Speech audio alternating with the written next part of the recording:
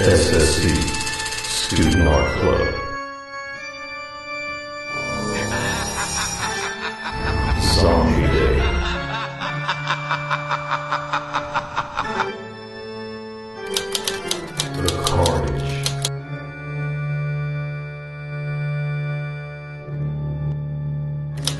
The Costumes.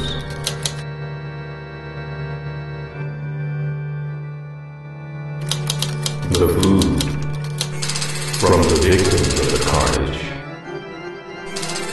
But today was about transformations. From this to this.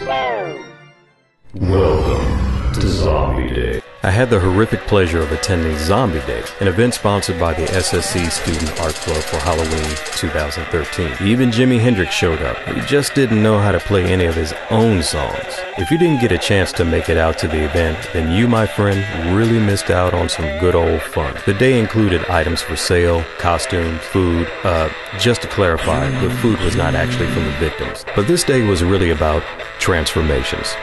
As a creative person myself, I was really interested in seeing what these makeup artists were offering. Hey, remember this famous transition?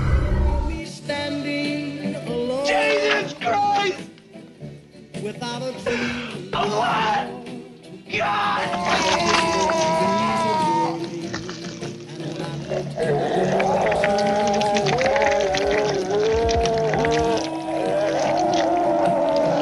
Okay, now let's get back to Zombie Day. We followed Ashley, a participant who'd volunteered for some ghoulish fun.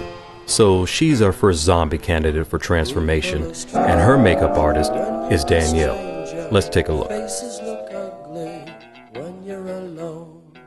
Women seem wicked when you're unwanted. Streets are uneven when you're down. When you're faces come rain. Ashley, I hope you're gonna like rock this for like most of the day, right? Oh yeah. Good, good. When you're strange, when you're strange. So how do you feel, Ashley? I feel awesome. Here's your All roomie. right. You're a.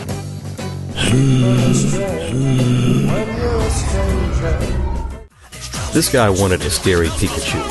We'll call it Creepachu. Take a look.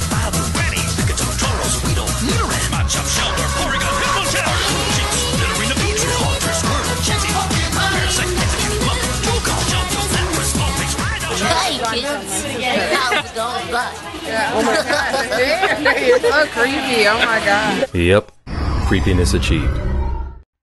As a filmmaker, you always have to network, and it was great for me to see up close and personal how some of these effects are achieved. Now, I'm not saying that I'm going to become a special effects makeup artist, but what I learned taught me that I can at least achieve some great effects with some simple tools. But for the future, I think I'm just going to call these gals.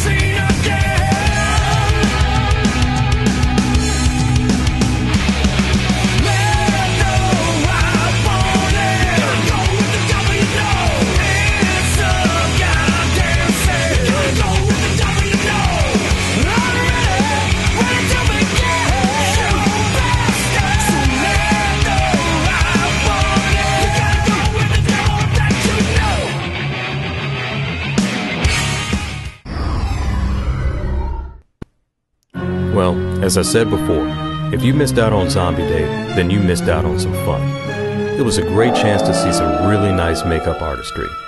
Some participants chose to get more subtle transformations, while others chose to get a little more into the zombie theme, but either way, the crowd had fun and I had fun. I'm sure the Student Art Club will continue this tradition in the future. If you're interested in learning more about art or sharing what you already know, then check out the SSC Student Art Club meetings every Thursday in the Fine Arts Building in room G130 at 1:30. That's right, every Thursday, G Building, G130 at 1:30. If you'd like to see all the pictures from Zombie Day, then go to SSC Student Art Club.